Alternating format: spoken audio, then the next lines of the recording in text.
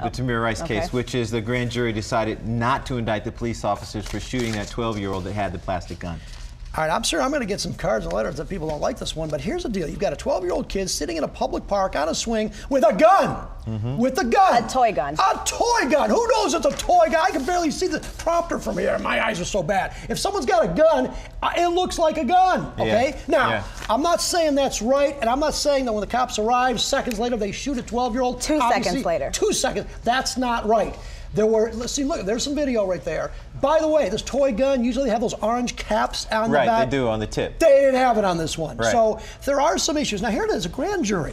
Grand jury was the one that actually said no charges. So a grand jury said no. It's not the prosecutor, although people can argue that the prosecutor maybe didn't give all the facts. But a grand jury, the way this works here, is a grand jury presents all the facts, Okay. every fact. But you can't say the prosecutor maybe didn't give all of the facts. It has been documented, right? That the Well, they're officers saying that the did officers not didn't get the proper information, The officers, they're saying. okay, the officers didn't get the proper information from dispatch, but still, when they arrived on the scene, they fired the first shot two seconds after they arrived. That's not enough time, as they said in the statement, which was presented to the grand jury, Charlie, Right. to tell this 12-year-old boy, "Put your hands up, put the weapon down." They said they said that three times.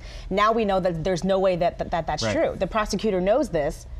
Yet it's still presented to the grand jury. But they So did say, indict. but they did say But they that didn't. The, You could they indict a ham that the sandwich. 12 year It old didn't was happen. going for But his gun. Didn't. was going for his You gun. don't You think- can see in the wait a video that he was minute, pulling, wait a he was minute. pulling it from his. Wait a minute. You don't think the grand jury, there's I don't know how many, of them, lots of them, Mm-hmm. they don't think that that's smart to figure out your defense, your theory? But only one Given side those is facts? presented. Right, well, I guess what I'm saying is They there are questions. Should there have been a special prosecutor? Since this prosecutor did say Wasn't a special that there, prosecutor. no, right? Should there have been? Grand jury. That's how, the best thing you How get. usual is it for This a is like Let It prosecutor Rip. I'm to totally say? have to move and on. this is my Rip. Co-anchor here. I think you guys should take that conversation. Uh, it was a good one. one into the Let it newsroom. rip. I like that Let one. it We're rip doing next it. week. Let It Rip gonna do it. or Facebook. Live on our Facebook page and get into it because that was good stuff. All right, thanks, guys.